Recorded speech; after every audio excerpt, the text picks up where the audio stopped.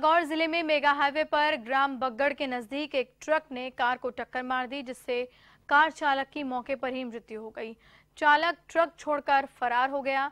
सूचना पर मौके पर पहुँची पुलिस ने कार में से शव बाहर निकाला, जहाँ पर मृतक की पहचान नरसिंह राम घटियाला निवासी पादू खुर्द के रूप में हुई है। पुलिस ने मृतक का पोस्टमार्टम करवाकर शव परिजनों को सुपुर्द किया। मृतक के बड़े भाई ने ट्रक चालक के विरुद्ध मामला दर्ज कराया है।